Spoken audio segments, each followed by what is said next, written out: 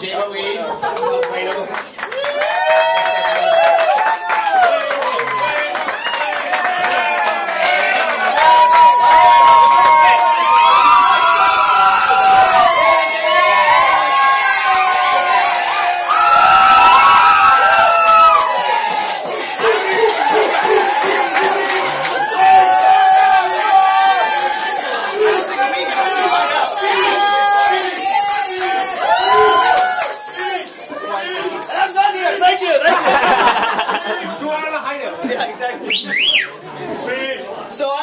many of oh, you guys know me, but I've known Ben for 15 years, better part of half of both of our lives.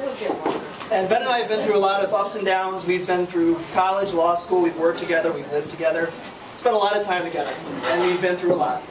And I can honestly say that in the time since Ben has met Maggie, he has been the happiest I've ever known.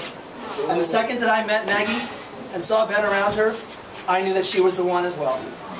So, Everybody raise your glass to Ben and Maggie.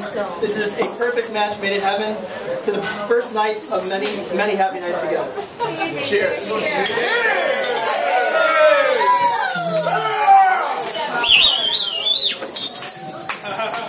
Break them buttons!